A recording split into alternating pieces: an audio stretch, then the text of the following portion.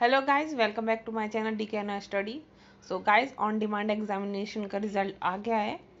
And इसकी link मैंने description में देख, दे दी है. आप चाहें तो वहाँ जाके चेक कर सकते हैं. एंड आइए देखते हैं आपको कैसे अपना रिज़ल्ट चेक करना है.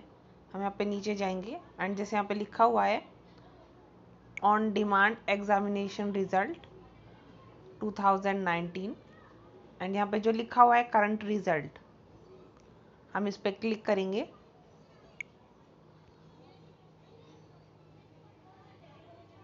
एंड जैसे कि आप यहाँ पे देख सकते हैं, यहाँ पे आपको अपना एनरोलमेंट नंबर डालना होगा।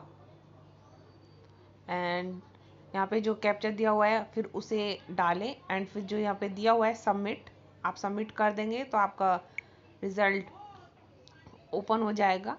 एंड अगर आप चाहें तो उसे, उसका प्रिंट आउट भी निकलवा सकते हैं. Thanks for watching